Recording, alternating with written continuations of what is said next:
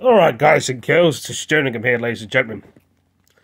Uh, Ray L O T T pa- passed away. Uh, Liotta. Uh, it's a shame. Uh, 1945 to 2022. USA. BBC News. Uh, BBC News UK as well. 27th of May 2022.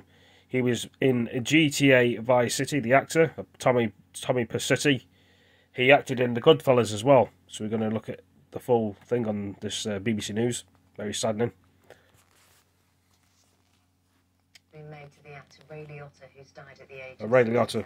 Hollywood star, best known for his leading role in Martin Scorsese's Goodfellas, passed away in his sleep while on location filming in the Dominican Republic. Greg McKenzie has more. you know, it's a good story. It's funny. You're a funny guy. It's widely considered one of the greatest films of all time. Seen here playing the real life mobster Henry Hill. The movie. One of the guys out of Home Alone's in this, this guy, the black hair. Home Alone guy. Vice City guy, GTA. Ray Liotta. The 1990s hit revolutionized the gangster genre.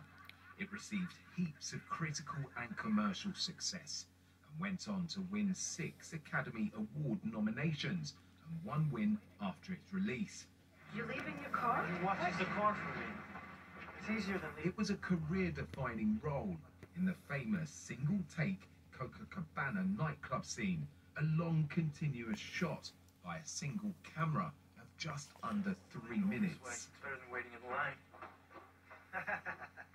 In paying tribute to the actor, the film's director, Martin Scorsese, issued a statement saying Ray Liotta was so uniquely gifted, so adventurous, and so courageous as an actor.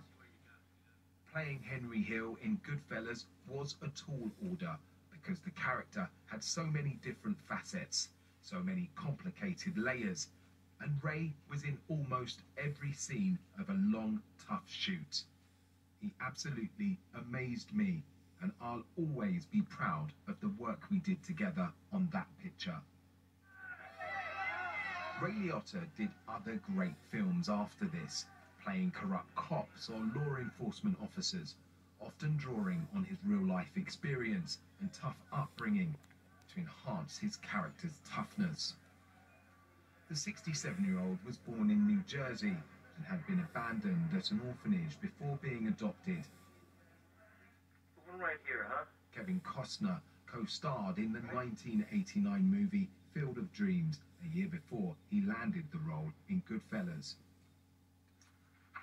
Costner said he will always be Shoeless Joe Jackson in his heart and says what happened that moment in the film was real.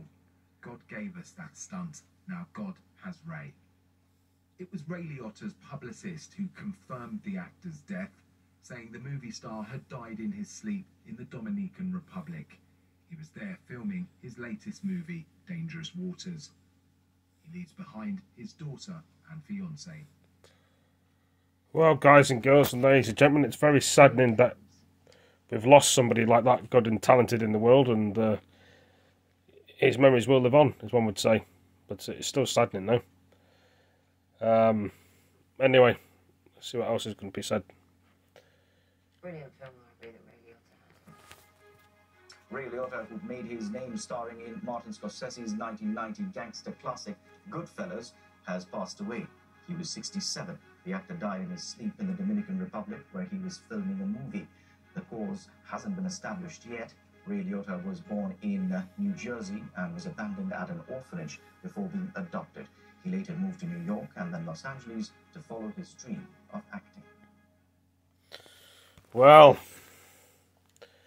what do you guys, girls, ladies and gentlemen, think? Some of you probably don't know who he is, but uh, RIP to him anyway. And I'm going to end the video. Thank you for joining me. Peace. Take it easy.